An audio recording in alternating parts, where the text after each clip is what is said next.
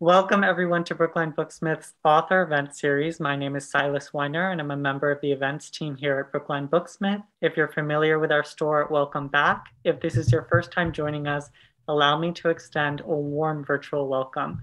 We're so excited that you're all here this evening for our virtual launch event with authors Courtney Summers and Sara Farizan.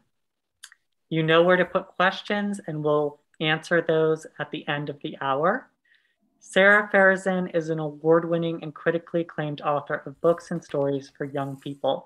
Her young adult novels with Algonquin, Young Readers Are Here to Stay, Tell Me Again How a Crush Should Feel, and the Lambda Literary Award winning If You Could Be Mine, which was named one of Time's 100 Best YA Books of All Time.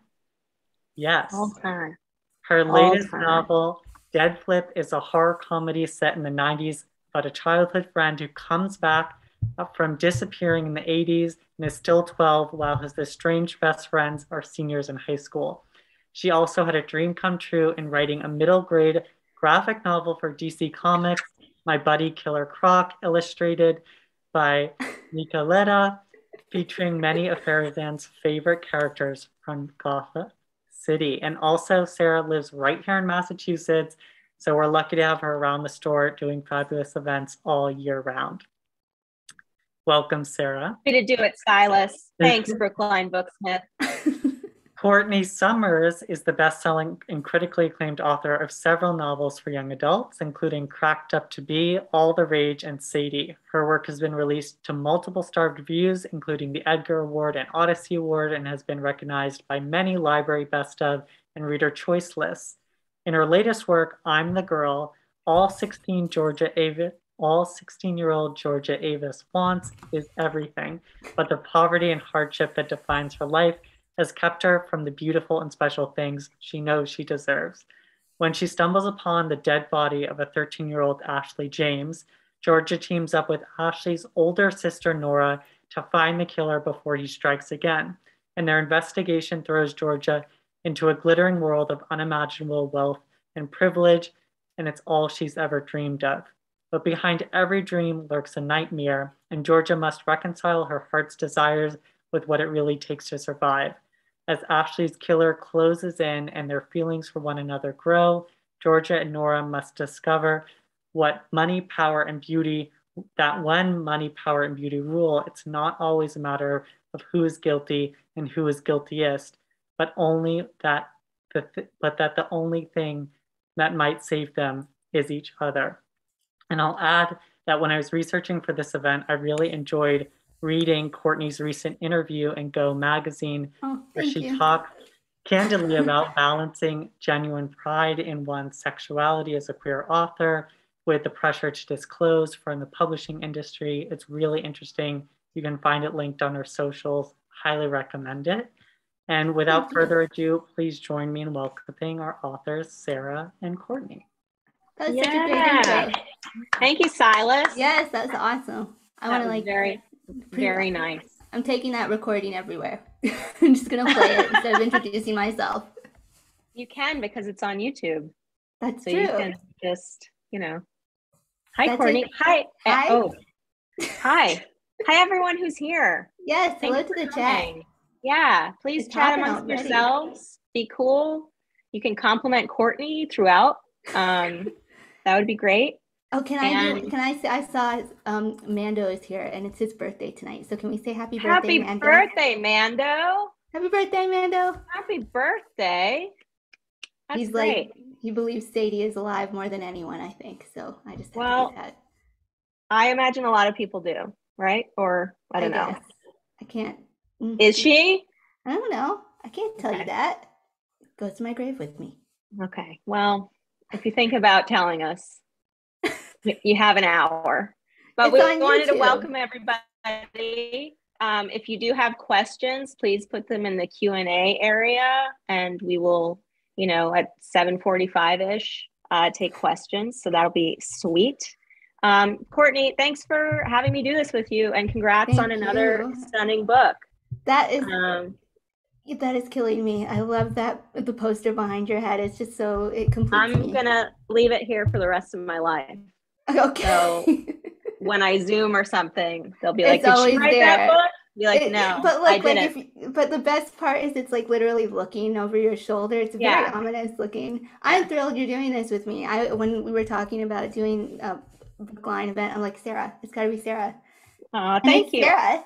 So I'm. I'm- happy. I'm honored because you're such a superstar and, and your books are really amazing and really gut punching. And um, although these two, they have some things in common, but not everything. There's no, there's a bit of a difference in genre and tone and age and you all kinds like, of stuff. like a possessed pinball machine in yours, and I cut the possessed pinball machine out of mine. yeah. I mean, Yeah. we couldn't have two at the same time. I will No. say it did remind me of one of my favorite songs. Um, so to quote Paula Abdul and DJ Skat Kat, um, we come together because opposites attract. So um, you know, I'm I'm thrilled to be here and talking It's a to you about beautiful thing. It is a beautiful thing.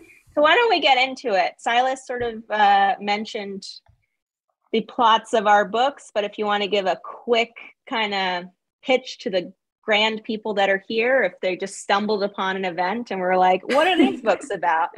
Let's give I a just quick stumble little. upon a, a virtual event. You love might be you like, might. oh, I, you know, that looks nice. I'll register for that. You know. Okay. And then my quick pitch is two girls team up to find a killer and and fall for each other. Little feel good book of the summer. yes there are there are good feelings there are also a lot of dark feelings but i like that pitch um mine is 80s 90s horror comedy um about literally outgrowing a friendship so the one Literally. friend who was trapped in a pinball machine in 1987 comes back still age 12 the age he went missing in 1992 and his two friends who are now seniors in high school and don't hang out with each other anymore um, they have to get back together to and reconcile their friendship while also babysitting their 12 year old friend, who might be weird now that he's out from the machine and might be up to Just some a little uh, weird. might be up to some nefarious stuff. He's got uh, a, very big jaw issue. yeah we're not going to spoil anything. No, you know we're going to keep it I'll as spoiler free as possible. Thank you. Both books are excellent. That's true. um, they're Quality available through the brookline booksmith. So Yes. feel, i'm sure there's a link in there if you want to and we'll sign it you know we'll personal i mean we'll just be like hey we've signed this you know that ups its market value.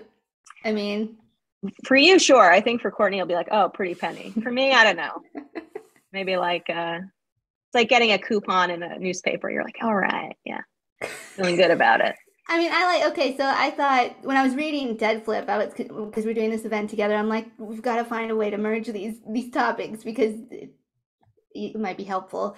And I got to this part in the book where Corey's like, "Oh, I got to do everything that men want me to do.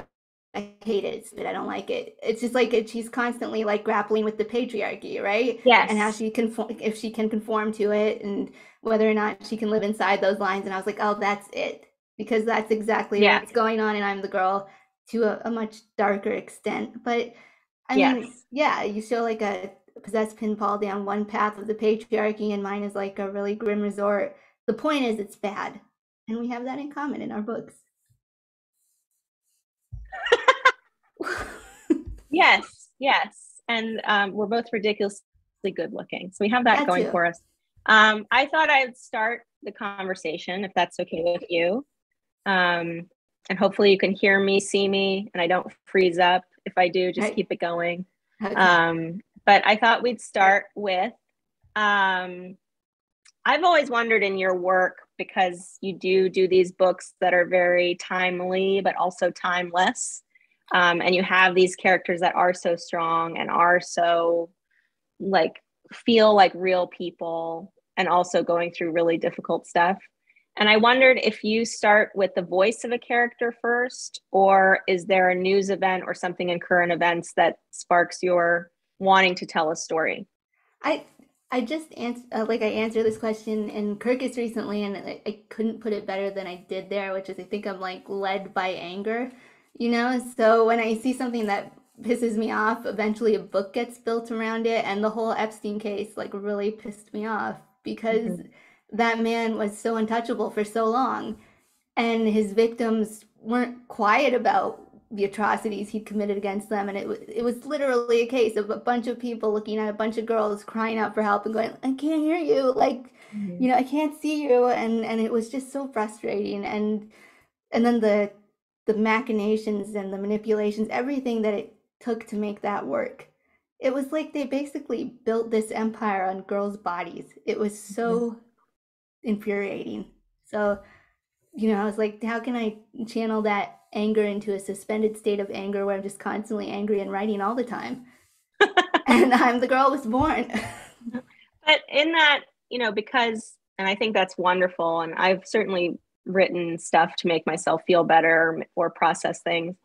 But when you are writing something that is touching upon such dark subject matter for a long period of time, um, how do you balance that out with like getting out of the story when you want to have dinner or like you know need alone time um like balance. how do you balance that? Yeah. What is that? I simply do not sara. I do not None? balance it out. No i'm just a low level simmer all the time. Okay. It's like the hulk like i'm always angry. Yes that's the most relatable thing i've ever heard in a, a Mar- marvel movie. See i didn't yeah. even know if it was marvel. That's how out of touch i am. That's okay. You're great. so we're yeah. talking to dc right like yeah, DC is fine. They're yeah, DC yeah. okay. But um Batman's good. Yeah, but I just I mean there must be yes, like but are there times where it is just too much that you're kind of like is there a go-to playlist you have or is there like a you're gonna think this is so weird because it's not really a I just I play Alien Isolation. It's a video game set in the oh. Alien. It's in the Alien universe, and basically you are Ellen Ripley's daughter, and you're on a space station, and you have to survive the alien. And little by little, everything gets stripped away from you until you're you're you're you're determined to survive, but you're no longer afraid of death because you're like okay being chased by an alien all the time. It soothes me. Okay, so that would make me like really anxious, but that's well, you, you have to look at it like if you were on a spaceship mm-hmm. and there was an alien on a spaceship. Yeah. Um, and you needed to survive. Like everything else you're worried about just goes away. You just have that one immediate problem. Who cares about taxes? Who cares about the book you're writing? You just have to survive the moment. I guess. I think for me, it's like I am such a scaredy cat, which is it was funny writing Dead Flip because I like my editor was like, "Can you make it scarier?" It's not very it scary. creepy scenes. It's, creepy, but creepy it's scenes. like um much like Spaceballs, like the part where the alien comes out of the stomach, like then he does a dance. Like that's my level of scary. Like, oh, something gross happened and we're oh, but then he does like the hello my baby, hello my That's that's more my my uh, jam. So you start with the anger, and that fuels the story, and then your characters come and. Um, yeah, I think it's a, yeah. There's always a girl, and like it's just a matter of fitting her into the situation and deciding how she'll respond to the situation and and I I mean I think a lot of the times people attribute my work as like pushing the bounds of likability, but what I really want to do is test the limits of other people's empathy. So I guess yeah. when I'm sitting there trying to decide on a character, I'm like, how can I how can I make you care about a girl? That's basically the question that I'm asking every time I sit down and write a book. It's kind of depressing to ask it over and over again. It's like, okay, will this be the time, please? But I, have never seen it as unlikable in your stuff. I don't either, honestly. I see it as very human. Thank you. You know, I think when when these we hear about these terrible events like Epstein's abuses and and um and any kind of even the NXIVM like sex cult, things like that. Right. You hear these things and you're like, oh, how could they be so dumb or how could they right. fall for it or how could they end up in that situation? Until you like, you don't know what you'd do if you were in that situation. And I think you write young people who like, if I found myself in this place, what are the most human reactions I might have? Like, what are the like, because not everybody does save the day and not everybody does, like, no. especially when you have the weight of all this power and money and privilege up against you. Like, you're not always gonna, it's not always gonna work out, right? The way you'd like right. it to. So, um, I've never understood the unlikable thing, but I also um, don't understand a lot of things. Uh, I mean, you know I I'm mostly just- hanging out with my Stay Puft Marshmallow Man piggy bank. So That's like a Um, safe place yeah. to be. I don't blame Yeah. you. yeah, it's I mean, unlikable. I mean, that's a that's just a buzzword people throw around because they don't want Yeah. to do the work of of empathizing or taking the time to to figure out the reaction that they're having to these young women because it's never Yeah. a problem with them. It's always a problem with Sure. the women. Yeah. Um, a friend of mine told me once, she was like, they call women with a personality intimidating. And I've always held on to that. I like that. Um, That's true. yeah. I've got tons of personality. I don't know that I'm intimidating. My eyebrows, maybe they're, I'm terrified right now. oh, well, pitter patter. Okay. Um, let's see. So I guess like in our both our books, and you mentioned earlier, um, the patriarchy informs Georgia and Corey to kind of move through the world in a certain way. Um, you know, Corey feels sort of like she's in middle school and her two childhood best friends are boys, Right. and that's been her whole life. And um, and she's getting this messaging from her older sister Tiffany, from society at large, from her parents that like the tomboy days are kind of going to come to an end. Like you have to sort of fem up in a weird way. Like there, it's just Yeah. it's a strange, and it, it's set in 1987 when that happens. So, um, and she kind of learns what it is to be like a cool girl or like what girls are supposed to be interested in. And Georgia, in your book, she embraces them as a means to like her value is based on her girlhood kind of in Right. like this society.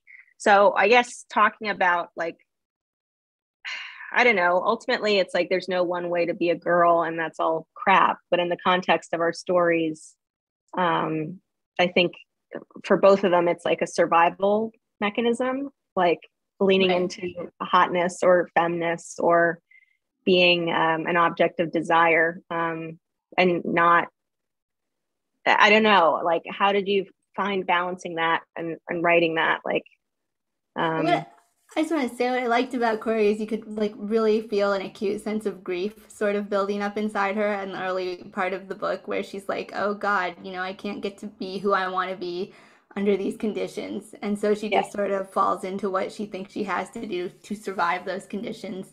And I think with Georgia, she's someone who's so determined to better her circumstance, and all she knows is like a patriarchal, classist, misogynistic environment. So you can either be crushed by those circumstances or you can try to work within them. And I, I mean, in her perspective, that's what she thinks.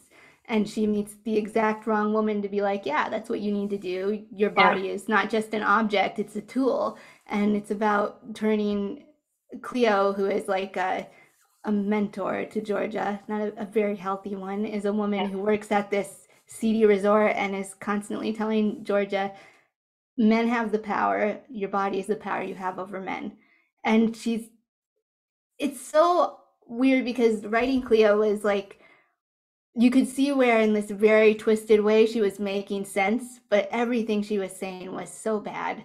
Like, like this Mhm. is exactly the wrong way to approach the problem, you know? Like, yeah but the the solution is get rid of men you know like that's never the first thing people think of but it's actually the solution so i don't know there has to be a happy in medium. yeah um i i just Well- gave it to you. No. Okay all right it's your event so you're right courtney. Um so yeah writing cleo so aspera is the resort that georgia the main character the girl of i'm the girl wants to work at um and it's this resort that caters to the rich and famous. It's very private very secretive and she sort of sees this place as like a ticket out of her town and a ticket to something better um, so Cleo is the wife of Matthew, who like runs the show at Aspera. right Um, it's safe to say he's an Epstein Weinstein like he's person. bad man He's not great, but he dresses well. Um, he does and yeah, and he likes chocolate cake, yeah um, but otherwise an asshole. Red but anyway, yeah, we don't want to spoil it. But um, but Cleo is is Matthew's wife, uh, so they both run the show at Aspera. Um, and so in writing someone like Cleo, like here's the line where, you know, she's talking to um, Georgia about what you said earlier, like, um, because this world is made by men, beauty is decided by them, and power is held only by them. And there's nothing you can do about any of it. Um, so I don't know, that gave me pause because it's like, it's kind of true. Like it's it is, it's very, but also like kind of, but she's telling them, Georgia, like even a man like this, who's like a really awful guy who's exploited Georgia, um, has more power than you and more power than me. But if the peak of a man's power is only the power he has over you, you know what happens then? And George is like, no. And she goes, you gain nothing from it. You get nothing for it. You know, um, so like she's basically saying what you said earlier that like it's a man's world, but if you're going to navigate it and you're going to like, don't let them like, let us have the power, right? Like we right. are an object of desire, that kind of thing, which again, not great messaging, but no. Cleo is someone who Cleo's been like Cleo's been Cleo is also she's been exploited in her own life and she also thinks yeah yeah. She's like, yeah, abuse. this is the only right. way that I see out of this. Like, I will never have better than what his Cleo's. Uh, I wouldn't trust. I wouldn't introduce my daughter to Cleo to say I don't have no. a daughter. But if I did, you know, she's a she's a very. I think she's a complicated character. She's more complicated, I think, than the woman that she was based on. Um, she uh, she has been exploited in the past and she wants a way out of she she too wanted a way out of her situation you know she had a, a, rough upbringing and she was like she looked around and she was and she said this is how i get what i want and she got what she wanted so. You know like that's she's grooming she's also grooming you know georgia so it's a whole it's a very slow build like just seeding these terrible ideas into georgia's mind and she weaponizes Georgia's lesbianism against her to do it. So does Matthew. You know, they they they act like you know because you're a lesbian and you, you don't care what men think. Well, this should make it that much easier for you. Yeah. And Georgia's like, yeah, which no, but no. yeah, no, not at all. Like I'm still a person. I'm still a yeah. human being. I'm still a person with feelings. I mean, yeah. I don't. You know, it's not their top consideration, but you know, like she's uh she's espousing the the doctrine of Matthew and Aspera because it has served her well so far. She's gotten everything she's wanted for it, and she thinks she knows what George wants too. Yeah, it's yeah, you know, feel good. Like I said, I want I want to ask like you a question because okay, okay, but yeah. it, you can do whatever you want to do. It's, yeah, you have to. It's. Yeah. yeah. Okay. Well, so event. like. you have i was talking about this with nina lacour last night um like you've been writing queer YA for a while now, and I yeah. feel like it's thanks to authors like you and Malinda Lo and Nina who have really like transformed the conversation and expanded it in terms of your work that you know I greatly admire all of your work. I've been watching it for like it's been years, like honestly. Been 10 years almost. Yeah. And, yeah. yeah. And that's that's a long time to be doing this kind of work, to be doing being this kind of visible and like has how do you navigate readers' expectations of queer rep and like has it changed since you started? And is it like is it getting more complicated or is it just getting more interesting? Like how goes it, Sara? well, I, I can only speak for me. I can't speak for well, you know the general yeah. public. Um, I don't know. I think it's sort of been nice to be like kind of keep chugging along. Like I, my goal has always just been to keep telling another story or to work you know but i'm not always like in high demand like there's no like oh this one's a bestseller like um which has been kind of nice because then i mean i'd like to that'd be great one day. But i'm just saying that it has been nice to like and again like you were saying nina Malinda, and so many others even in the 70s like nancy garden and julianne peterson and for that matter francesca lia block who i think is straight but wrote queer characters. And so they're, they're there have, has been a great tradition of and Jacqueline Woodson, there has been a great tradition of, you know, queer lady authors who paved the way. And um, those books were wonderful, but maybe not as mainstream or as commercial. Um, and certainly my first book, I didn't think it would get published. Um, and now it's getting banned in certain places, which makes me sad for the kids there. But, um, you know, also what helps is I'm really bad at being gay. Um, I haven't dated in a long time. Um, I'm not a great flirt. Um, there are other things I'm good at that I've embraced my lesbianism. Um, but it's also not something that I really think about much, much like my, I mean, I do, but like I don't, like much like being Persian, like I, I am. And there's a lot to explore with that. And, and, but it's also not the first thing I think about when I wake right. up. Um, I, I will say, like, I, you know, you're getting a lot I of think, solidarity. I think being, I, yeah, I think being out from the jump, you know, um, because I, I, the book that I wrote was very queer, and and I don't think there's anything wrong with being queer. So, um, but I don't think that needs to be the way for everybody. I mean, I, I think there is something about writing a book from a certain experience that is true because then it feels real and because the people reading it are like oh i recognize that i feel so seen i feel so like and it should benefit people who are a part of that community especially when there's a success you know, like right. when malinda Lo, when who's in the chat, by the way, hi Malinda, hey. who wins like a national book award. You know, that's huge, right? right? That's really like a huge boon for all of us. Um, Last year, like it was the Malinda Lo year, and it was awesome. Yeah. Oh yeah. man, and this year too. Yeah. It's, it's, just Come the on. keep on rolling. Yep. She's in her Rocky Three era, like the beginning of Rocky Three, where there's a montage of like all the like success and stuff and we'll watch it together don't worry but yeah so it's um but i'm i'm saying that i'm so grateful to people who came before and it's so nice to see lots of other authors write queer stories whether they're out or not um i i'm not on social media a whole lot i don't really spend a lot of time in ya lit discourse um, which isn't bad or good it's just not for me um, and I kind of just, uh, you know, I want to be respectful and thoughtful. I think all of us do, you know. Um, I've written straight people. I hope I did okay there, you know. like, like it's just, um, I always think my, my whole thing about all of this, like all the noise and all the, like, you want your book to do well and you want but mostly I think about the young people reading it. And I know adults read these books and lots of different age groups. I'm not, but I'm always thinking about the kids and if a kid finds it cool or fun or relatable or like, oh, this book was okay, but I finished it and I feel proud that I finished it. Let me find another book that I like better.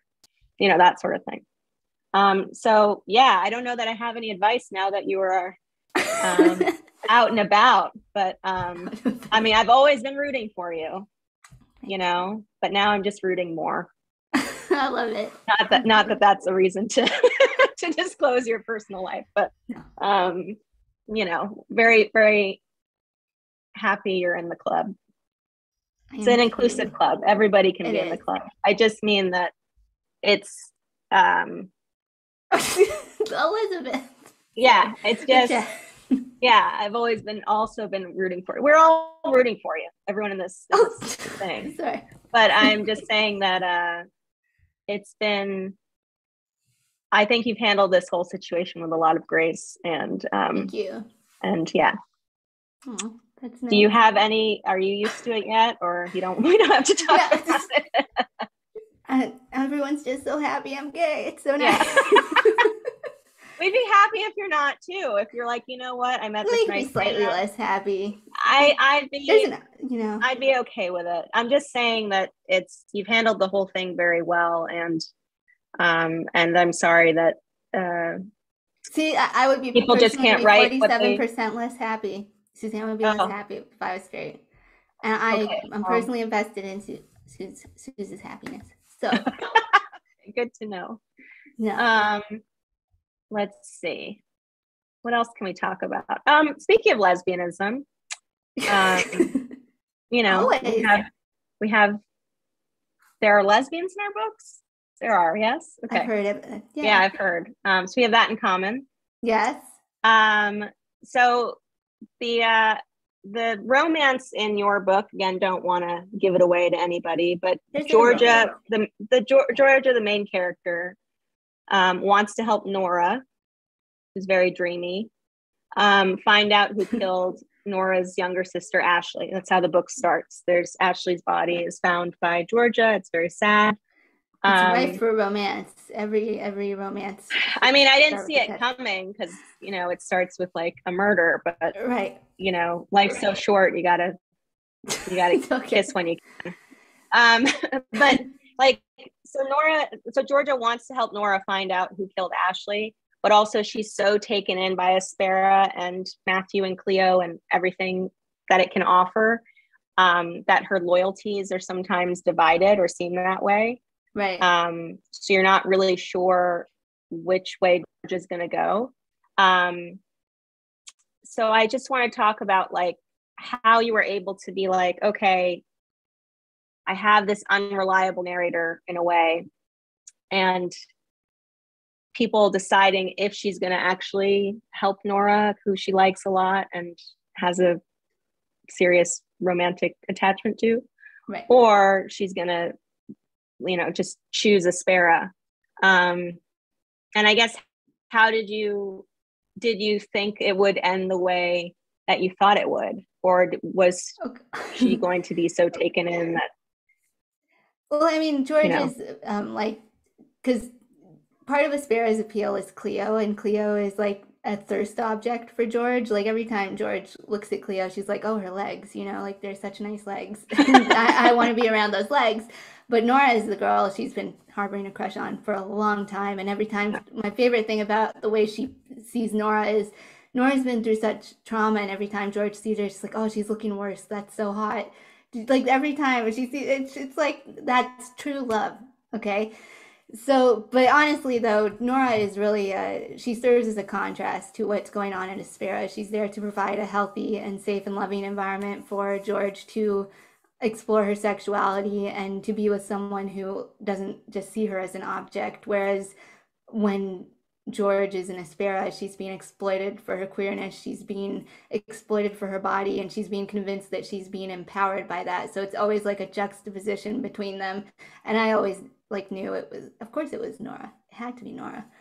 I'm not that Okay. evil. Like, I don't know, like maybe, you know, when you write stuff, you don't know how it's always going to turn out. Like you have an idea, but it changes. And I don't know if she would totally be enveloped by the dark side. I don't know. Oh, you just did a great job of, as usual. Good oh, job writing a thriller where you don't know which way it's going to go. Um, let me see. So there is a connection to Sadie and I'm the girl. yeah, Um, a minor one. do you want to tell people what it is or they should just read it and figure it out and It's Sadie got made into a Oscar award winning movie. Like she's eventually going to, you know. It's uh there's a, there was a we did a prequel short story or no epilogue. I keep saying prequel because it's prequel to I'm the Girl kind of, but it's and um it connects Sadie to I'm the Girl and I I like the idea of like Sadie is a book about a man who exploits well it's partly a book about a man who exploits a young woman's story so that he can have a hit podcast and um, it's sort of the progression of where that goes. It's it's an extension of the conversations that kind of started with Sadie. So when I say it's a spiritual successor, I don't want people thinking that Sadie's gonna be like, "Hey, I was alive I'm the whole here." time, yo, gonna take it down a resort now." But it's very much. I feel like her. I don't want to say ghost, lest I upset people. Her energy her energy is is there hovering around. Yeah. No. and that it's referenced in the book is fun for i think Yeah. People to be like She's looking for a pinball machine to possess. she is not looking for a pinball machine that's my fine. event and everything I say is right. So yeah yeah okay that's true um Why would Sadie have a ghost? She's alive and married. Okay, Heather. Yeah. I'll you have it. so your friends pay attention um any research you did for your work that you were surprised by not just something that you were like i never thought i'd be by? researching this no just like you know like in the book there are a lot of antlers at Aspera. There's a lot of antlers on the, you know, Matthew really enjoys a hunt, which creeps me out. Um, were there any things that you were researching that you're like, I can't believe I've really Okay, but this is not. There's so much terrible things that I researched that I wouldn't. It wouldn't be polite to talk about. But Yeah. Um, developing the resort was a whole ordeal, and um, it was kind of.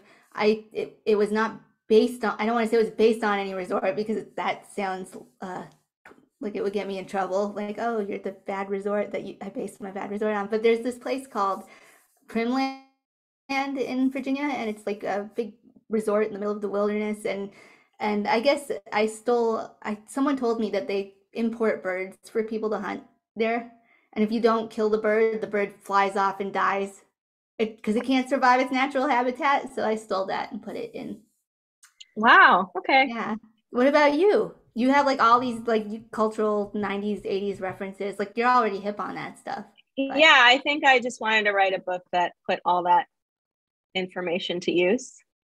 Um, because for fun, I just really enjoy researching the 80s and 90s. Like um It was your time I had a customer. Yeah, I had a customer service job where like one monitor I'd be doing work, but like the other I would just have like 80s commercials on YouTube or 90s commercials or like Macy's Thanksgiving Day Parade from 1986 or like just anything of like it was just all bubbling in me. It's Okay, just things so- I enjoy. Is there like a pop a pop culture reference that you're super proud of in Dead Flip? Well, I'm sad that I my publisher asked me to write like a glossary. So kids today would be like, I don't know what this is. Like, can you, I haven't I haven't You didn't have to yet. come in here and sniper us all, Sara. God. No, I haven't finished it yet. I don't know that I will. Don't do it. but no. um but I you know, there's a dog in Dead Flip that um, is called Potato Chip and um, is named Potato Chip because um, Tiffany, Corey's older sister, was like, "Oh, he looks like a like a low rent popple," and popples were. Popples. um, I had a popple. you did? Yes. I had one. I lost it, but Wow, I'm really tragic. upset about it. Yeah. I think I've just been collecting a lot of things from childhood that I lost or that I always wanted and didn't have. Like I got this Gremlins lunchbox. Oh my Um, I don't know if you can see it up there. Um, and it has some kid's name in it from the 80s, but like it's not my it's not I hope it's not a possessed gremlin's lunchbox. well, I thought about calling the number inside the Gremlins lunchbox once, and then I was like, that's gonna be too weird, and like Don't do it. I'm not Do gonna it. do it. Do it. That's do gonna it, it, start another horror story that I'm not ready for. Um, do but no, I guess I just wanted to like have fun. You know, I What's feel that like, like? Writing for fun? I mean, it was still work. It was still No, I know it's still work, but writing fun things like what's that Yeah. like? Um, it's a lot more joyful. It's, I guess, to your question earlier about what's it like having been out this whole time and writing sort of books that speak to that. Um, I think my first three novels and a lot of my short stories have been very identity based or things that I want to get off my chest or things that, and of course, like it's not going to be you know, it is going to be messy because it's one point of view. And I was younger when I wrote that stuff, and it's just stuff I've wanted to get on my chest, off my chest, or examine or think about. And um, and this time it was more like writing stuff I enjoy, but also that idea of like, uh, what is it to lose your childhood friends? You know, like just thinking about like, you know, you have friends in different phases of life and now i'm in the phase where people are getting married and they're starting their own families and i like I'm like i'd rather watch tv that seems scary. So i think writing about that and writing about um, nostalgia in that it can be fun and it can be great and it can be really like bittersweet but it also can be really deceptive. Like Yes. you might look back on something and be like oh didn't we have a fun time and someone else be like actually i had a I had a really hard time that was not a good time for me Worst time of my life. um yeah and how we can kind of make the past seem glowier and fuzzier than it actually was um Yeah. so it's it wasn't all fun and games but it was definitely nice to have characters that share aspects of my identity go on an adventure that isn't necessarily like talking about prejudice or isms. I mean, it's in there, but it isn't Right. like the the main attraction. Focus. The pinball machine that eats people is the main attraction. You know, And what a pinball machine. what a pinball machine. We Yeah. love it. Oh, Silas is back. Silas, I imagine. what did we do? What did Sara time do? for Q and A. Yes, it's time Okay. for Q&A. Ask questions, Um, you guys. Yeah, Yeah. so pulling from the Q&A chat box, uh, the first question is from Emma. Romy, from your book All the Rage, her color is red. What is Sadie and George's colors? Oh, You know what the worst thing is? It keeps being red because Sadie had the red hoodie on the cover. I got that cover. There was no red hoodie in the book until I got the cover, and then I put the red hoodie in. And, and Georgia, sh- she wears, I think, a yellow dress. It could be yellow, but she also like obsesses over Cleo's red lipstick. So I have something going on there. I don't know if it's a cry for help or something, but there's something thematically. There's a through line with red in my books. I don't know why.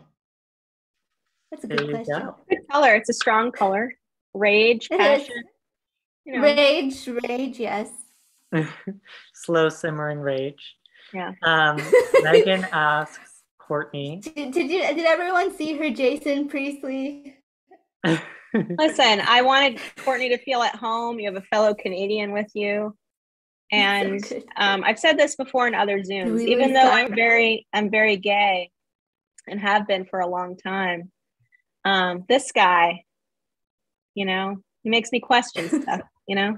So He's a very pretty man. so pretty those eyebrows Uh, so i'm just saying that if you're a young person who's questioning you don't have to have all the answers because me and jason priestley still I'm still very gay i'm just saying there's Just saying. there's always some i don't know anyway that's not part of the colors question that emma wanted answered But It's just a new level of all of us getting to know each other. Yeah.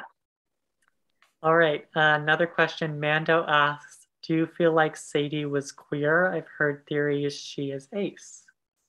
She oh was, I I mean I, her in the book Sadie says um anyone who listens to me I love them a little which is so sad but I I think of Sadie as like like this is how I interpret her I wouldn't want to take that interpretation interpretation away from an ace reader but I think of I think she's bi and yeah but I think she'd like probably end up with a woman definitely end up with a woman that's I just envision. I always like thought if I returned to Sadie, there'd be something with Kat, but I don't know. a cat No, there was this girl named oh, Kat that Oh, oh. she met on the road.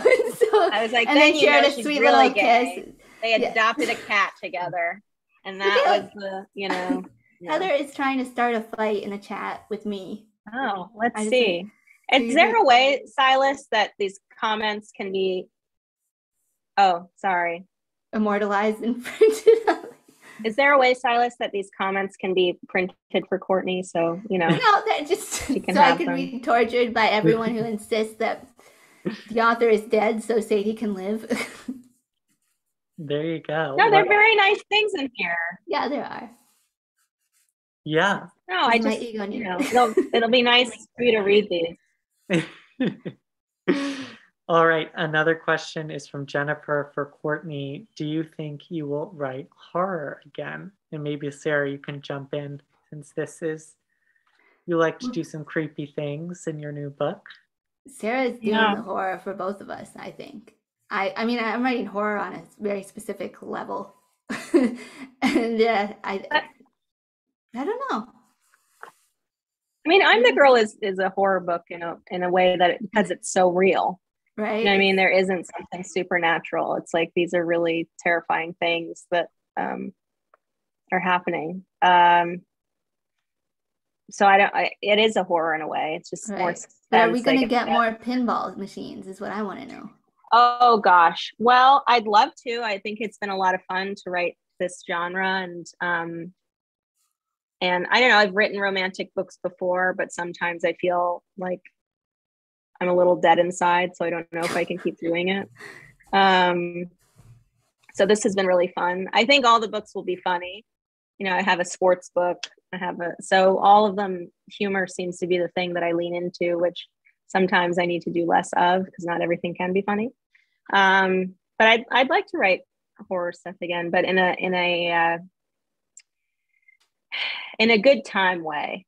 A horror good time. comedy. Yeah. That could be your tagline: horror in a good time way. yeah like you'll get scared a little bit and also i feel like it's uh, uh, for kids that have and it's for everybody again but i think also a lot of 30 somethings who grew up in this time will recognize how very early 90s it is um It is so. Dead Flip is like. It's it's like it reminds me of Are You Afraid of the Dark and Yes. Goosebumps and like and it's got that Stephen King kind of coming of age element that Yeah. yeah like when he was doing the body and stuff like that I just love Yeah. it it's good which is what i was going for like i loved the show called eerie indiana when that a was kid. so good. Yeah. good yeah and that was like the showrunner of that show was joe dante who directed gremlins Which um so it all yeah basically i'm just trying to do joe dante stuff um but i know i think yeah i think courtney you can really write whatever you want to write you're really talented um and um i hope that there's you no shortage of talent here well yeah but like you know of your poster up so silas yeah is there any way to print out these comments for courtney so she can oh my gosh them? You know? I don't need it. like my ego is big enough let's I can, I'll take screenshots.